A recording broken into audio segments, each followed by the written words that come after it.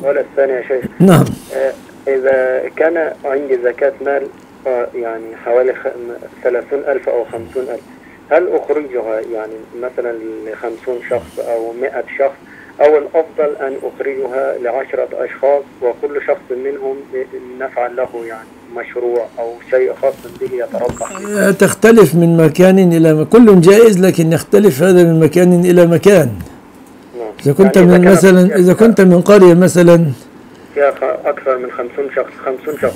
هل إذا أخذنا الخمسون ألف هذه لعشرة أشخاص هل في المرة القادمة يكون عندنا أربعون شخص؟ في المرة التي لا يا أخي الناس تصرف الفلوس. لو جيتك غلط أيضا. آه لا. لا- يعني عذرا. هذا يختلف من حال إلى حال. يعني الخمسين ألف هذه إذا أعطيت لكل أسرة ألف جنيه في السنة. سددت خمسين أسرة. سدد لمدة سنة.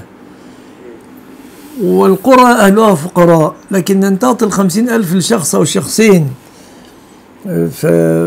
فلا أرى ذلك الأصوب إذا كنت من قرية. إذا كنت من قرية.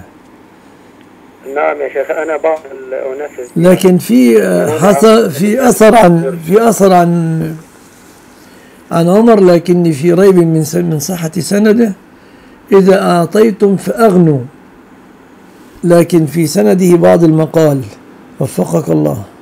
بارك الله فيك وفيكم وفيكم.